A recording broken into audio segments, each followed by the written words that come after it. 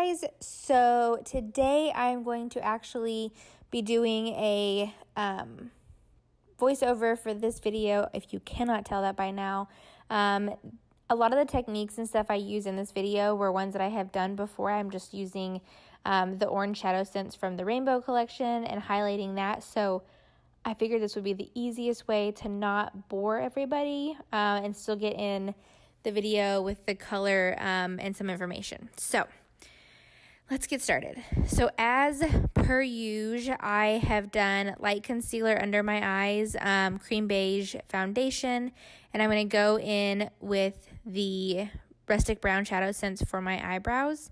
Um, all of these products are uh, budge proof, sweat proof.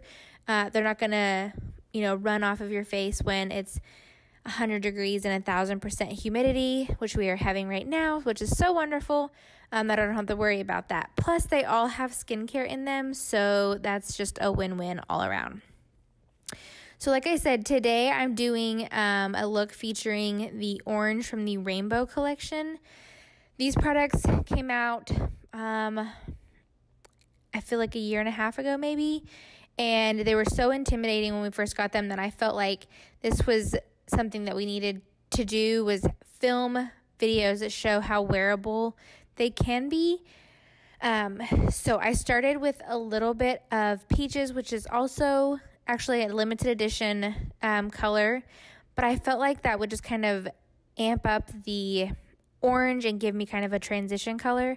Mocha Java would be a great transition color here as well. Um, I just thought peaches would be fun. So then I did um, take the orange, and I actually this time took the orange shadow sense over my entire lid, even the inner corner. Um, I just bring it all the way across the entire lid. I'm going to do a little pop of shimmer in the center um, just to kind of lighten the look up and give me a spot of brightness. But I wanted to do something a touch different with this look, um, and that's what I did. So then I take garnet and keep that on the outer corner. That's kind of going to give me a more um, smudged out, semi daytime smoky eye. Um, I don't want anything too dark.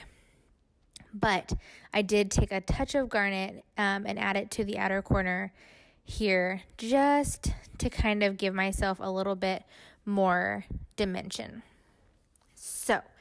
Blend those all out. Um, and I take the brush that the orange is on and just kind of make sure everything's blended. As I've said before, with Shadow Sense, you have 60 to 90, 60 to 90 seconds um, before it dries and it's set. So just blending that and getting it where you want.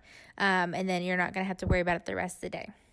So then I take the Sandstone Pearl Shimmer and use that in the center of my eyelid, um, kind of as a halo look, but not as intense. It's just like a super subtle bright spot right in the center there.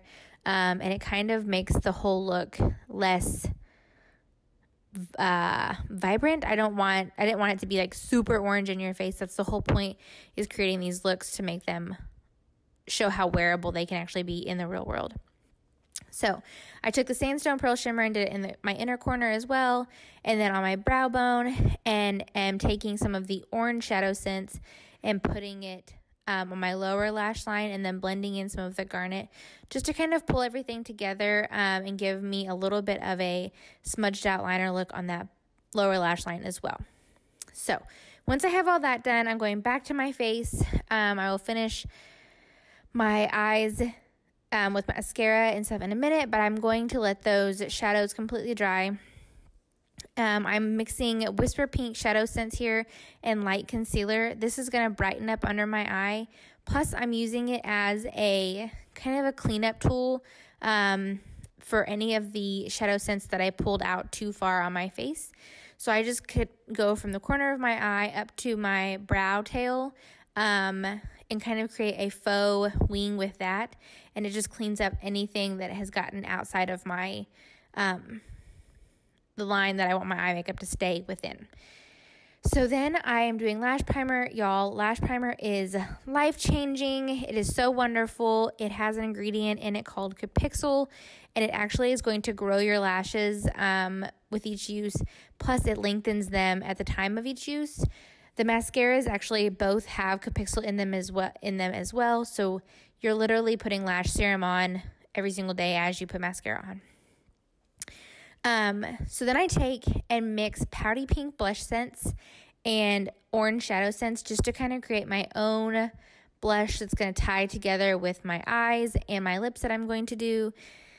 Um, that's the great thing about you know these cream products is that you can actually blend and create your own colors um, that you're looking for. So I could have combined and mixed shadow um, sandstone pearl shimmer and orange ShadowSense to create a more orangey tone for the center of my lash, um, my center of my eye if I wanted to.